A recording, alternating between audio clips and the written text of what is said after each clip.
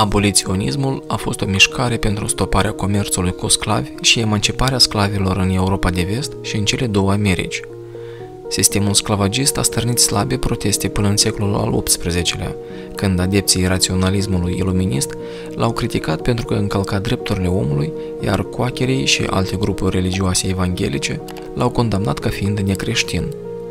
Deși sentimentele antisclavagiste au ajuns să fie larg răspândite la finele secolului al XVIII-lea, ele au avut un impact slab asupra centrelor de sclavie, și anume a Indiilor de vest, America de Sud și Sudul Statelor Unite ale Americii.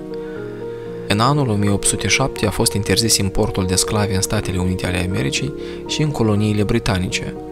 Sclavia a fost abolită și în Indiile de vest în anul 1838, iar în posesiunile franceze 10 ani mai târziu.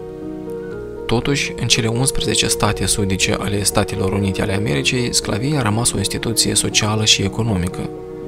Aboliționismul american a acționat sub presiunea faptului că amenința armonia dintre statele de nord și statele din sud ale Uniunii și împotriva Constituției Statelor Unite ale Americii, care lăsa chestiunea sclaviei la latitudinea fiecărui stat.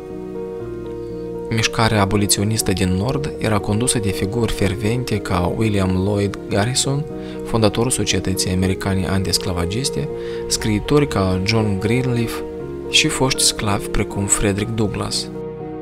Alegerea lui Abraham Lincoln, care s-a opus răspândirii sclaviei spre vest, a marcat un moment crucial.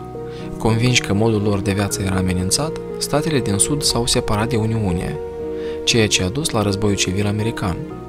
În anul 1863, Lincoln, care nu a fost niciodată un aboliționist, a emis proclamația de emancipare care elibera sclavii din statele Confederației.